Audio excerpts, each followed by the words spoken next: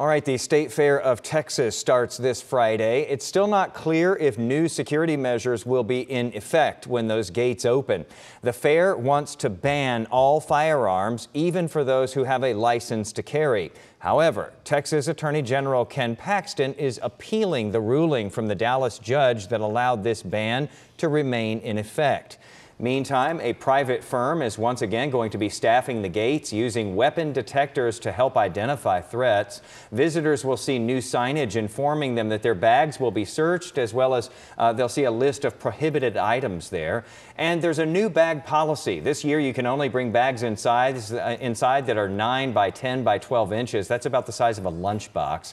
Medical or diaper bags do not have to meet those limits though.